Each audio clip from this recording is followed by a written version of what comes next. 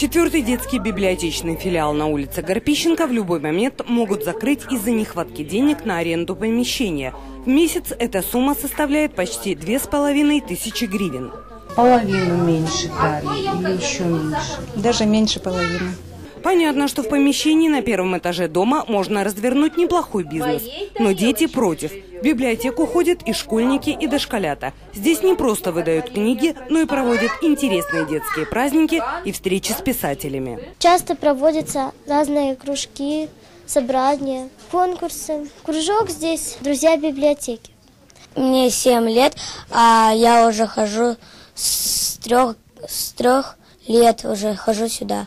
В школе, в школьных, да, та- там обычно всего не найти и все расхватывают. Но вот, э, би- на, на Горпишко взрослая би- библиотека.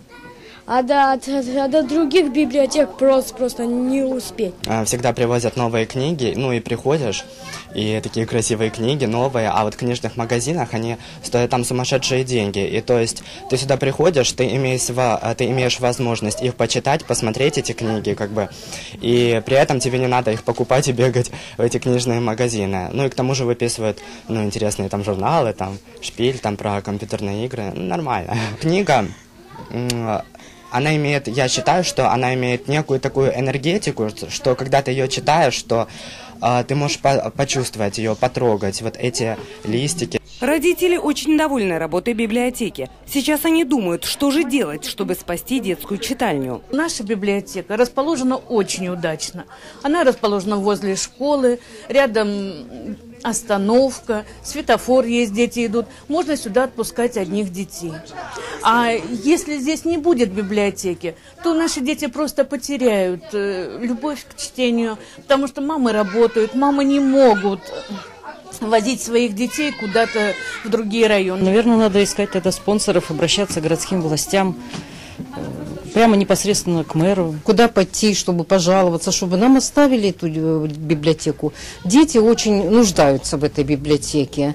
Вот я говорю, вот, правда, вот приходишь, душевное такое это самое отношение к тебе, всегда помогут выбрать все. И, конечно, очень будем опечалены тем, что вот нашу библиотеку закроют. Ну, надо как-то, наверное, куда-то писать, обращаться, искать спонсора, потому что, конечно, наверное, без этого, я не знаю. Пока родители собирают подписи, подрастающее поколение задумывается о более радикальных способах противостояния. Забастовку устроим. Я им устрою. Будем стоять целый день, верните нашу библиотеку. Да, забастовки и все.